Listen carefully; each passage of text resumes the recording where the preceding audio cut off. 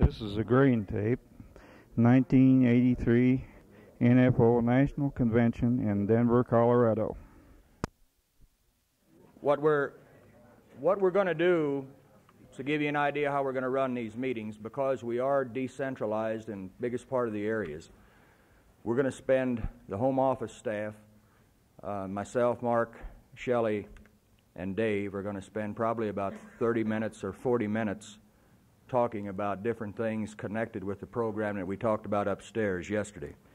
And then what we're going to do is break into regional meetings to get set up, have your people talk about uh, with your with your area supervisors, with your staff that's in those areas, talk about how you're going to get set up in designated counties. If you don't have county structure put together, how you're going to set up to coordinate the effort after we get back home after the convention on this on this corn and bean and wheat block thing that we're talking about. But we're going to have to have we're going to have to be done, or out of those regional meetings, you'll have to break at 10 o'clock. They're going to give everybody 30 minutes to move from one meeting to the other one. So somebody, uh, the guys who are conducting those regional meetings our area meetings, keep your clocks checked so by 10 o'clock we can break. That's not going to give us very much time. but uh, anyhow, that's how we're going to do it. I'll tell you what I'd like to do. I'd like to go back just for about 10 minutes here and go over some of the things we talked about yesterday and why we proposed to the convention body yesterday that we do what we're doing in, in corn, beans, and wheat. And I'll go back over some figures here, and there's brochures available that you can have that's got that are set up on corn and beans specifically. And there is a series of about six or eight or ten questions that we run into out in the field when we were field testing this thing, that the ten questions that were most often asked. And we put them in here, and I think when you go down the road to make contacts, if you just take one of these with you, carry a, a brochure with you or two, and go right and follow that set plan that's in these brochures. It goes through and tells you why, like a $10 bean block, why should I participate? How many bushels do we need to achieve? How do I participate in it? What's it going to cost me? If I sign up, can I get out of the block? All those type of questions are answered in this thing. And it's, it's going to be a real good tool that we can use down the road that you, you don't have to have a canned presentation. You go in and start and work right through that brochure and go right from there. But let me go back and talk about the figures of where we're at and why we are suggesting and why we suggested that we do what we do. Now, it's a little bit different than what we've been doing in the grain department in the past as far as this type of a block is concerned, and we understand right up front that it is probably one of the most risky things that we have done for a while. But we sincerely feel that the situation that we've got in corn, especially corn and soybeans, and with the situation that's developing in wheat, if we wind up with another bumper crop in wheat, we're going to have that hanging over our heads. And we could wind up in a position to where, especially on wheat, that you're going to have the government owning two or three years of crop by loan sitting out here in bins, just like happened back in the 60s and back in the 50s. And they're going to use that to depress those prices. And that's why we're doing what we're suggesting to do here today. It's not a deviation or it's not the direction that we're going to go, but on a short run basis, we want to stick with and work towards and keep working on program marketing. But when we're sitting at the prices where they are now, program marketing is not being successful. We've got to do something to raise that general price level to get ourselves in a position to where we can lock in for next fall on the crops that are coming off then and also during the summer. As far as USDA figures are concerned on corn, and we went over these yesterday, but I'll go over them again this morning, so I know some of you probably didn't get them written down. The 1982 1983 crop carryover on corn was 3.14 billion bushel. That is actual ending carryover stocks that they had at the end of 1982 1983 fiscal year or crop year. The estimated for this year, for 1983 1984, is only going to be 510 million bushel, which is about an 80% drop. Those are probably the lowest stocks, and we talked yesterday afternoon out in the halls. I was talking to people, and I don't know how long it's been that the crops, that the stocks have been as low as they are estimating right now. If in fact those figures are right on corn alone, you're going to have about a 15-day supply of corn left by the time we go back in the field to start picking the crop that we're going to put in the ground this spring. And that puts us in a very, very good situation to put psychological effect, put a psychological effect on that market and push that cash market up. If we can move, and wheat and corn are directly related to each other, if we can get corn to move, and that is the most critical one as far as the sharpness is concerned, if we can get corn to start to move, we feel that wheat is going to start coming up with it, and with the efforts that's going to be going on in the wheat countries, in the wheat country as far as contracting and on this same type of program, that we can start making that thing move up. Now, the important thing that we got to do, as far as telephone, the important thing that we got to do once we get this thing started, and you'll do that in your regions and we'll not get involved in that operation. That's up to your managers and to, and to the staff that are in those areas. But once you get that thing started, you start holding meetings, you start getting people out, and you get these people talking four and a half corn at the Gulf and ten dollar beans and four seventy five wheat or whatever. You're going to have to keep working on that until you get it to the point to where it is the topic of, of, of conversation in a coffee shop, and it will come to that because the people who we have contacted catch on very fast what we're doing. They understand what we're trying to do, and they will get involved in it. But you're going to have to work with media people in your areas, in each one of your areas. You're going to have to keep it in front of the press. And when we start getting, after we get started and at the home office and we start seeing that market go up, there will be releases come out to each one of the areas so you know where we're at. And if that market starts to move, you're going to get that much more people involved in the thing to keep pushing it up. Like I said yesterday, on corn we don't have to move it all all that very all that much. Beans is probably around a dollar seventy cents. But where the stocks are at, the psychology that's being used by the trade to push it down, we have got no choice but to start something on this side to start pushing that thing back up, pushing the market back up to cash market. On beans, as far as carryover is concerned, 1982 1983, carryover, according to USDA, was 387 million bushel. And 1983 1984 estimated carryover on beans will be 140 million bushel, or about 60% less. And that's going to be somewhere in the neighborhood of 30 days' supply left when we go out in the country to start cutting this next fall. On wheat, all wheats, the carryover for 1982 1983 was 1.5 billion bushel. They're estimating, estimating 1.4 billion bushel for this year, or about a million bushel short on, on wheat. Now, we are looking at wheat, the wheat that's under loan, and we'll talk about it in specifically in the, in the wheat areas. Like we were talking this morning, the wheat that's under loan is, is under a price block already. But there's a, lot, there's a lot of people who didn't comply. There's a lot of wheat that is not under loan, and that's the one we want to work on to get, to get this thing going. Uh, get, get everything, get the wheat thing started to sign up so it'll, so it'll coordinate with what's going on in corn and soybeans. Uh, the drought situation and what we're looking at, if the situation that the drought put a lot of people in, in the corn belt, in the southern corn belt, all the way across uh, running way up into areas in Minnesota. Uh, Wisconsin and Michigan, I traveled around over the Corn Belt extensively this summer. Uh, parts of Iowa look pretty good, but the best crops that I saw was anywhere was in the state of Wisconsin and Michigan, as far as overall crops and everything were concerned.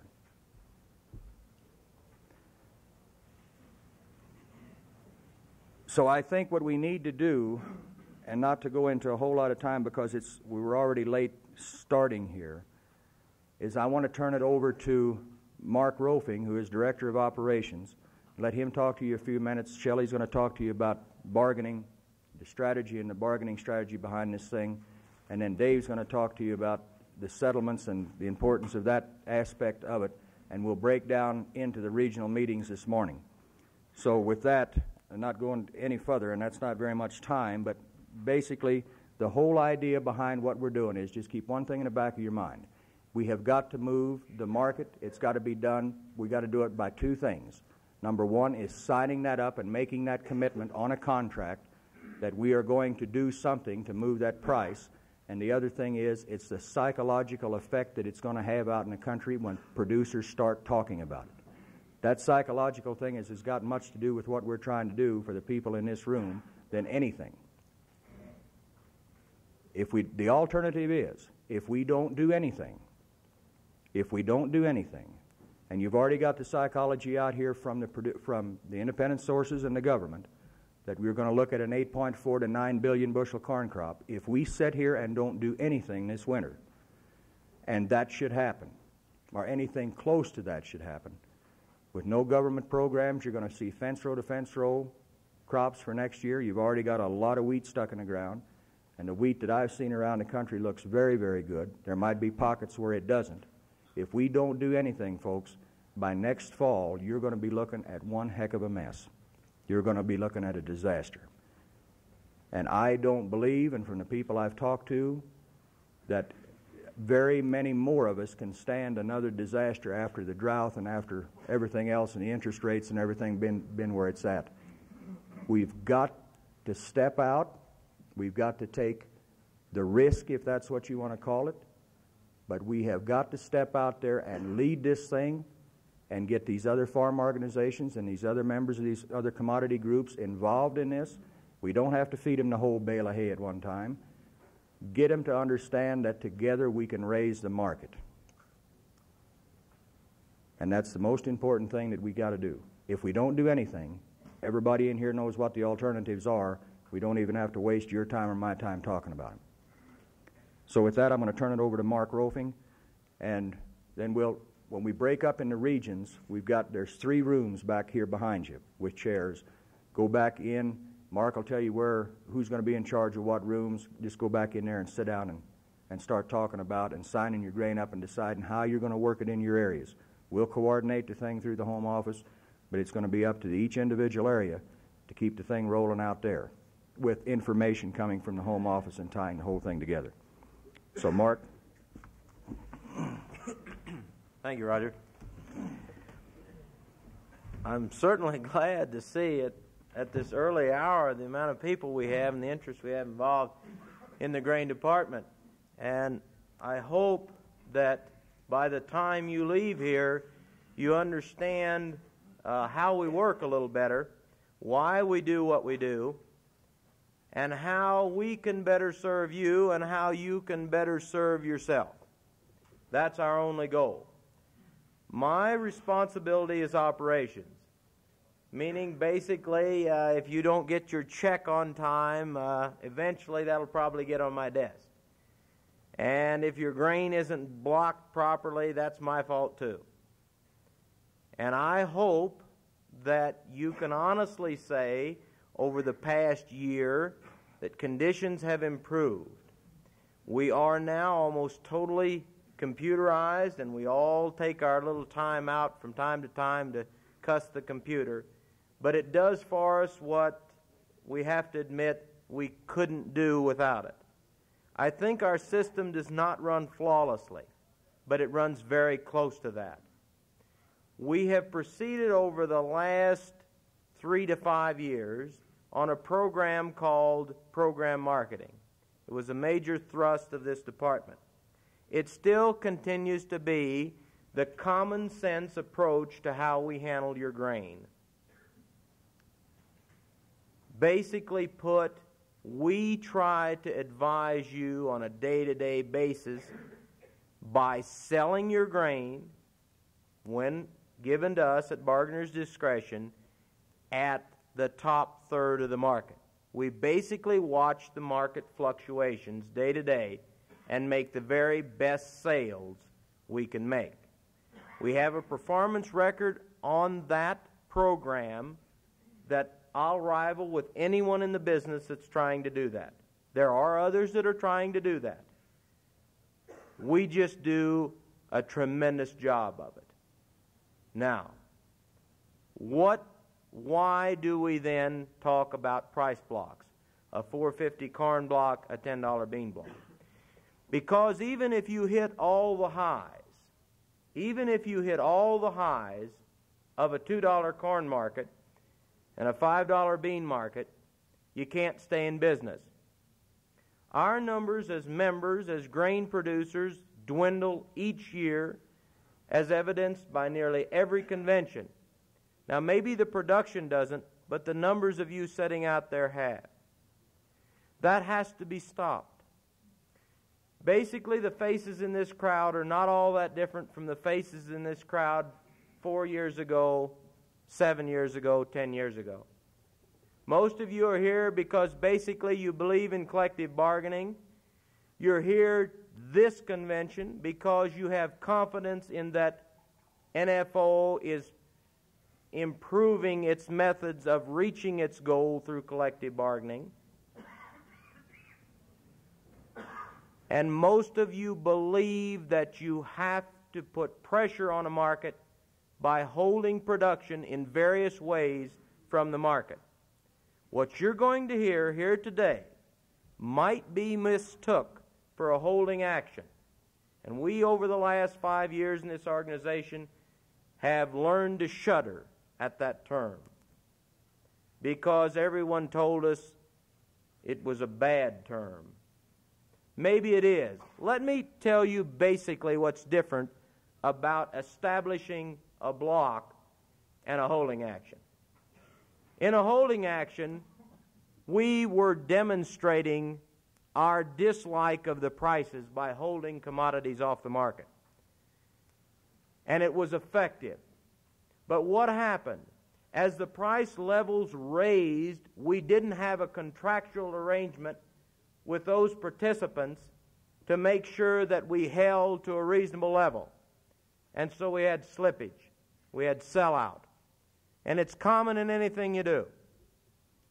Because people begin to wonder you know how that old thought process goes I'm not going to sell out, but that guy down the road is, so I'm going to get ahead of him. So you have to be contractual. You have to, you have to contract. That's why we are going to ask you folks first in this room, as delegates of this convention and guests and NFO members in general, almost without question, we're going to ask you to sign your grain on these blocks where they apply. We're also going to ask you to go out and get your neighbors to sign on this contract too. We're going to ask you to put two cents a bushel up front good faith money, if you will. To prove to us, to prove to you, and to prove to your neighbor that you're going to stick on that block. Now, should a catastrophe come about, sure, we're going to let you out. But the fact is, we are now contractual. That is the difference. This block will work. 512 million bushels of corn. For years and years and years, it's been pretty common knowledge in the trade that 600 million bushels or less represented a complete scarcity of corn. In other words, the corn was used up at that point. That includes a lot of things. Uh, one of the things is is that bottom foot or so in a lot of bins isn't much quality of the corn left of the grain. It's also an error factor built into those figures. If you go back here about five years, when the marketing year was changed one month, and one month's production was added, just as an accounting situation that really wasn't there. We are extremely short of corn. I've, I've went into a little bit on this bargaining. At this time, I'm not going to steal Shelley's thunder. Most of you know Shelley Robertson. He is in charge of nationwide bargaining. As we are decentralized, we have bargainers in each unit that try to keep abreast of local developments in the market and therefore do a better job of bargaining for you. Shelley coordinates these bargainers, keeps them up to date, constantly trains both the existing bargainers and new ones, and more importantly, he works on the bargaining of national blocks, such as this block. So at this time, most of you know Shelley. I'd like to introduce Shelley Robertson. Thank you, Mark. As I look over the crowd, I see that I know a lot of you, but I also see a few that look like new faces, which I'm glad to uh, have the privilege of seeing. I thought to uh, give you a little background to uh, develop a better understanding, and I'd like to go back into my background just a little bit for a moment so that you understand why I'm in the position I am and uh, uh, why I may or may not be qualified for what I'm doing. I uh, have a farm in Pendleton, Oregon. We raise soft white wheat and barley out there. And I came to Corning some 11 years ago as the director of the grain department and was director for a little over two years. Went into specialties and was there for a long time. Then I retired until my family decided they couldn't stand me any longer around the house. And that's the truth. They had a vote one night at the supper table, and I got the message. So I came back to work, and I first went into dairy and the sales training end of it. And then uh, a little bit better than a year ago in September, I was transferred into grain to um, uh, give assistance there. So I've had a long history of working with grain and other specialty crops, and especially in the bargaining. And this is one of the reasons why uh, apparently I was chosen to fill that slot. But for those that may not know who I am, uh, that'll give you a little bit better understanding of the situation. And I thought that it would be uh, important that you understand that. Next, you need to understand uh, my function and, and what I'm to do uh, so that you see how it fits into the overall uh, game plan. And there is a game plan. With the decentralization, you'll have in each of the areas, and some of you already have it, your bargainers right there in that office, whether it be in Salina, Kansas, or in uh, Fargo, North Dakota, or out in Montana, uh, wherever it may be, in Minster, Ohio, whatever, you'll have your local bargainers. And we learned something in the past and, uh, that we uh, dealt with. When we first started out, and let me take you back a little bit in history. When we first started out uh, moving grain in the early days, you know, the good old days is the way we always talked about it. I don't know what was so good about them, but that's what we always say in the good old days we had trouble uh, getting anyone to even negotiate with us, to write a contract with us. So when we first started out in grain, the local counties would do their own bargaining, anything to get an NFO name on a contract. And for those of you that remember that, that'll bring back memories. And for those of you that are a little younger and have not experienced that, you'll begin to see how the development came. As we started moving volume, and showed that we could be contractual, that we could deliver, we were able to start moving larger volumes to better buyers each time. We first started out with the local elevators, then we got into uh, local brokers, and then pretty soon we started making it into a few of the terminal markets, and it started to continue. The, the moment that we got into the terminal markets, we started developing problems because we would have a marketing area uh, bargainer uh, selling grain into, let's say, Portland or Minneapolis, doesn't matter where, or into California. And there would be another bargainer talking to that same buyer. And all of a sudden he discovered that he could get barley at one price from one and at another price from the other uh, bargainer. And it created problems, and I think it'd be obvious. I'm, it's just like, uh, you know, the son coming to you and saying, hey, Dad, can I borrow the car? And you say, I don't know. Uh, whatever your mother thinks, and he goes to mom and he says, Hey, dad says it's okay if I use the car. You know, it's that kind of a situation got into. So we discovered at that point that we had to regionalize. And for you people that uh, remember that, that's what we did. And we put the bargaining into regions then, and it really started helping. And as we continued, we discovered that we had to go national in scope. So that's where we are today. That at any time that we're bargaining, we need to keep the national idea in mind because even though it may be a local sale or moving within a local confined region, those prices are still compared throughout the rest of the country by that company because the companies we deal with today are not only national but international. And therefore, one of the functions that uh, I perform is to see to it that we do coordinate that. That we don't have uh, the bargainer in Kansas selling hard red wheat for a better bargain price than what we're selling it out of Fargo. You know, that defeat our purpose, wouldn't it?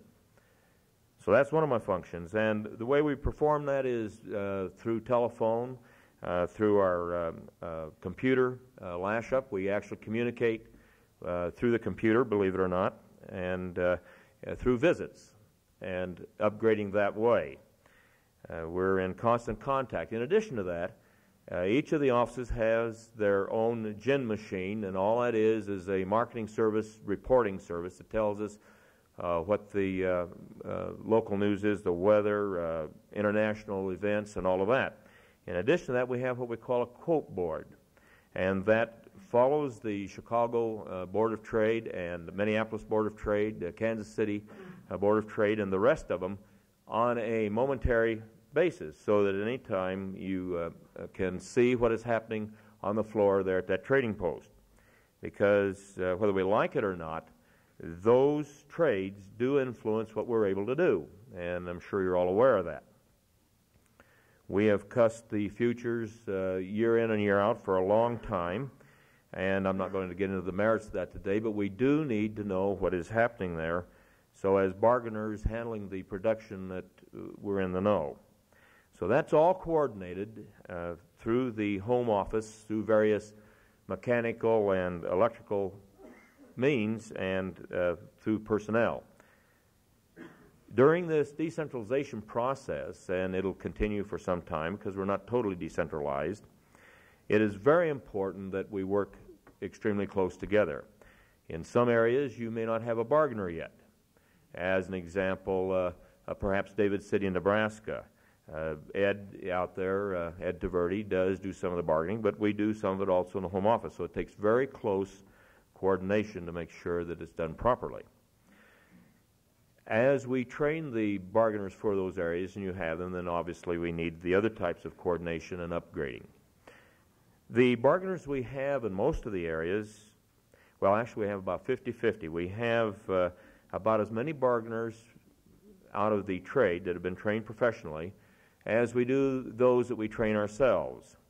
And quite frankly, uh, depending on the nature of the individual, uh, you can end up with a good product either way. Although I uh, do give preference to our own members that uh, uh, want to become staff and want to learn and be trained, and uh, they become excellent bargainers when we do that. And one of the reasons is, of course, they have a vested interest in what they do because most of the time they still have a farm themselves or a ranch, whichever the case may be. So that is my function, and this is what we do. Now, the amazing thing, and what's amazed me about the National Farmers Organization for years in bargaining, is the fact that anytime we come out with something, someone else starts copying it. It's not the other way around. I can give you an example of that. About five or six years ago, we were having our uh, young farmers meetings in Corning, Iowa, and I'm sure a lot of you are familiar with those. And we were explaining to them how that it was so necessary to forward contract at that time, how it was necessary to have a bargainer handle it for you. Well, bingo. In the next six to nine months after that, you started seeing in the uh, livestock journals and the uh, trade journals how, and in the farm journal itself, other magazines and publications, how the producers were being told that they should do that. One of the things that was being told back in those days, and one of the things we were doing, was going direct. And a lot of interest was created at that time going direct overseas. We started it. And you'll discover that every time that we go along on a program that we seem to be out in the forefront, which is good. Because as long as they're copying us, they'll never catch up with us. And it also tells us that we must be doing something right or they wouldn't copy us.